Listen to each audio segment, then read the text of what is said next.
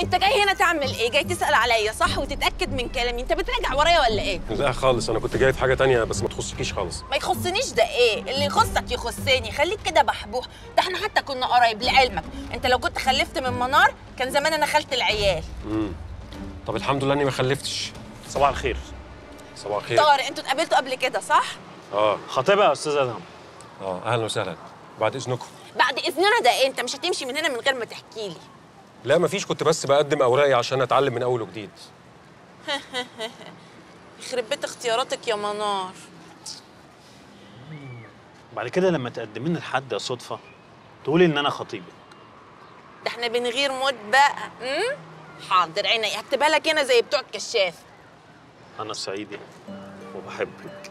يعني شرفك من شرفي آه. جرى إيه يا طارق؟ شرف إيه؟ هو أنت هتعملي فيها ذئاب الجمل مالك كبرت الموضوع كده ليه؟ بسيطة. بقول لك إيه؟ خلاص أنا مش عايزة اشغلك. روح انت خلص اللي وراك وأنا اخلص تحقيق وأروح بمعرفة